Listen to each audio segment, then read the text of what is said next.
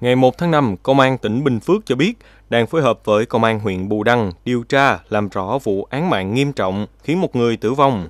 Nạn nhân là anh L, 34 tuổi, ngụ xã Đắc Nhau, huyện Bù Đăng, tỉnh Bình Phước. Trước đó, khoảng 20 giờ tối ngày 30 tháng 4, anh L điều khiển xe máy đến nhà ông Nguyễn Văn Được ở thôn Đắc Xuyên, xã Đắc Nhau chơi.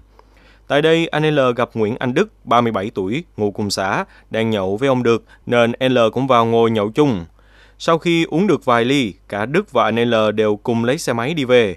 Đức điều khiển xe máy đi đến nhà bạn gái ở thôn Đắc Xuyên, thì anh L cũng điều khiển xe chạy theo. Khi vừa gặp nhau, anh L chạy vượt lên chặn đầu xe của Đức nên hai bên xảy ra mâu thuẫn dẫn tới đánh nhau.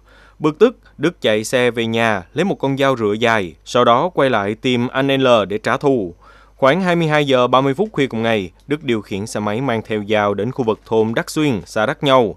Khi thấy anh L, Đức liền xông lên dùng dao chém thẳng vào mặt của anh L, khiến anh này ngã xuống đường tử vong.